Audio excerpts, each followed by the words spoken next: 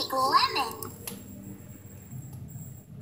First, water it, and then get the strawberry. We gotta get back there. I mean, who knows what they'll do once they get the remote control whatchamacallit?